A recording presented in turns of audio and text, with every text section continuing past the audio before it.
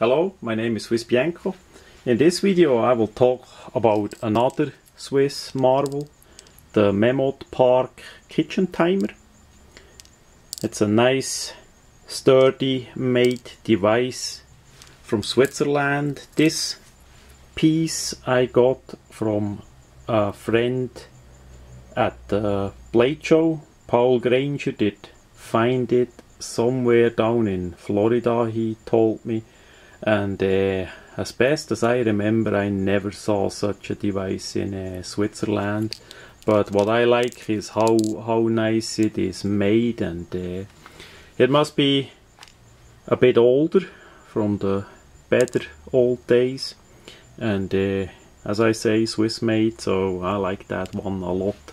So I want to feature it in a video. Now to use it as a timer we basically turn around this part. I'm not gonna put it on uh, too much time. We can put it uh, between 0 and 60 minutes. You already hear how it uh, ticks. So I put it there maybe on on uh, three minutes. That's that's about it. But you can you can uh, put it on whatever time you want uh, to compare the size we have here a Victorinox Classic. Standard uh, Victorinox knife so you see how how uh, pretty compact and small that timer is.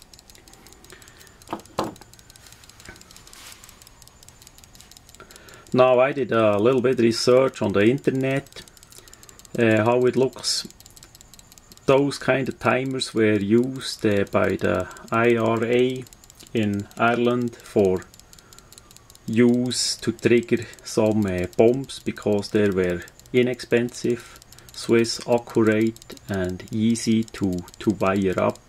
So that uh, yeah. So you see you can even make a nice uh, timer for use by the kitchen and somebody uh, play with it and use it for uh, criminal terroristic things. Pretty pretty sad. Now we see how how the the thing moves.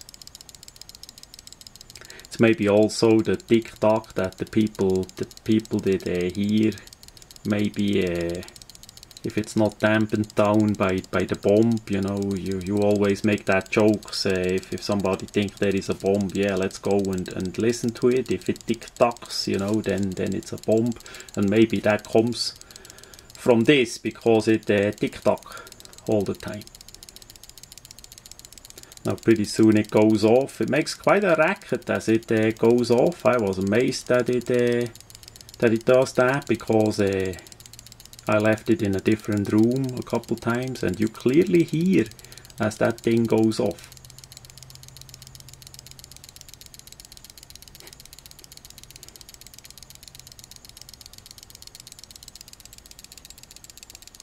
It's relatively flat too.